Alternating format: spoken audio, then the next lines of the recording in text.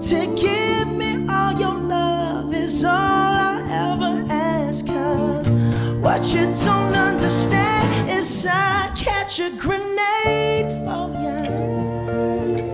Throw my hand on a blade for you. I jump in front of a train I do The 68th Annual Golden Globe Awards live from the Beverly Hilton Hotel in Los Angeles. It's going to be a night of partying and heavy drinking,